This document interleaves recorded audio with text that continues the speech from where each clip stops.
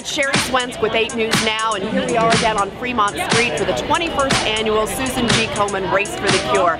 Thousands and thousands of people here again on this beautiful Saturday morning, all for one cause, to uh, support each other in a cure for breast cancer and remember those who we've lost in the battle of this disease and fight for those who are still surviving. We're all here to support each other and have a great day. It's going to be a fun event.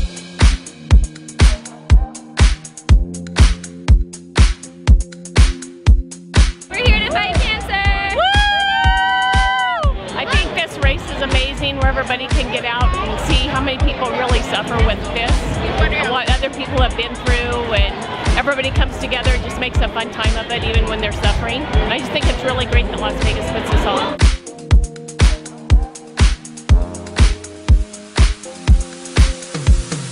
I think being here together, you know, for this race is really nice because it brings everyone together. It brings all here for a good cause.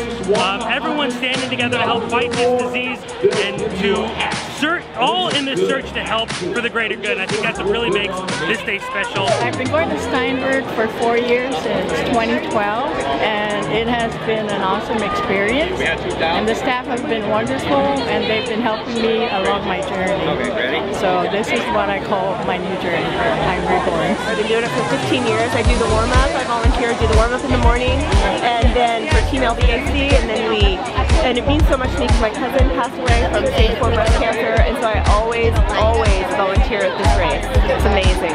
This race means a lot to me. My mom passed away three weeks ago today, or uh, actually tomorrow, and uh, we wish that there was a cure already because I miss her a lot. This race means so much to me because in July it'll be eight years cancer free and for everybody else here that is a survivor and is, and is supporting the cause so hopefully one day they, they will find a cure for breast cancer. I have a wife and three daughters, enough said. The Race for a Cure for Susan G. Komen is something that's very close to our hearts. Our grandmother actually passed away from breast cancer, so we love to come out and support every year.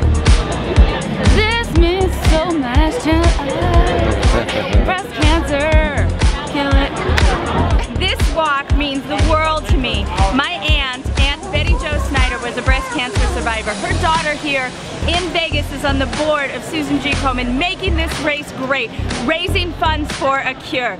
Keep fighting, keep winning, and we will cure this disease. Woo! Hi everyone, I'm Dr. Shaw calling from Steinberg Diagnostics. I'm so happy to be here representing us at the Susan G. Komen Race for the Cure.